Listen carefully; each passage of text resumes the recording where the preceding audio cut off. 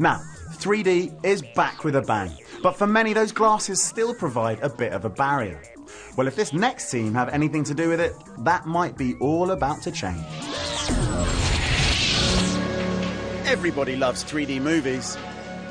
They can startle you, make you laugh, even move you to tears. But wouldn't it be great if you didn't need those ridiculous looking glasses?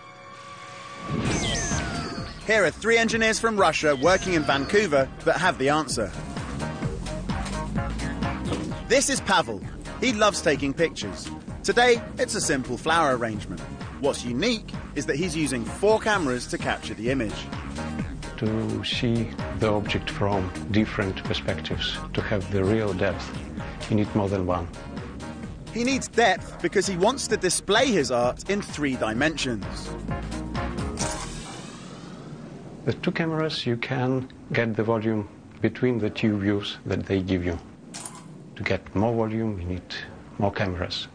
3D has been around since the 1950s, and there's always been one constant. You have to wear special glasses. Pavel is working with Nikolai and Amin. Together, they form Zecotek, a company dedicated to freeing us from the tyranny of plastic glasses. The important part of our 3D display is uh, the screen. The screen is uh, it's actually our secret. For a decade, they've been developing this unique screen. Inside it, there's layer upon layer of tiny cylindrical lenses. Our screen uh, produce uh, many uh, perspectives, many views. So each view is a view to the object from different angles. And uh, when you look on our uh, screen, on our display, you will see uh, a realistic 3D image because we can see objects from different angles. Most 3D systems project two images, sending one to each eye. This is how they achieve three dimensions, but only from one angle. The person on the left side of the theatre sees exactly the same thing as the person on the right side of the theatre. Moving your head from side to side should produce a parallax effect. The monkey in the foreground and the bear in the back should appear to move in relation to one another. But with glasses based 3D systems, that doesn't happen. That's why some people get headaches.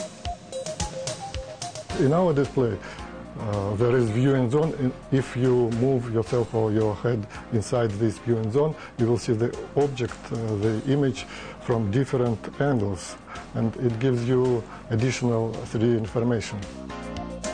As if there wasn't already enough reason not to like the glasses, studies have shown that 95% of movie theatre glasses carry bacteria.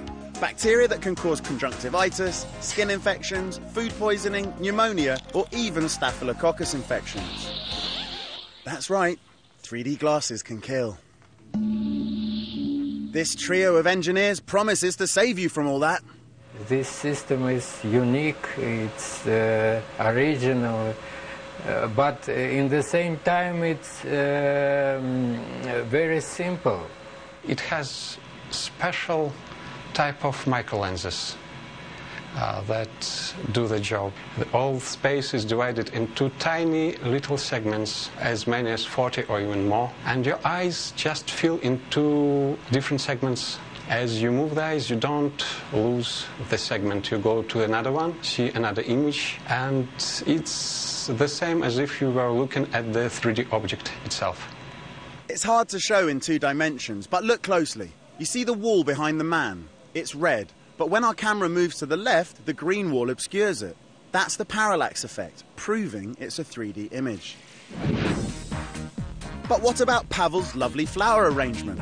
There it is, all three dimensions of it. And thanks to the Zecotek screen, there's no need for those silly looking glasses. It certainly is a major leap forward for 3D. But visions of those 1980s glasses will linger in the memory of many for years to come.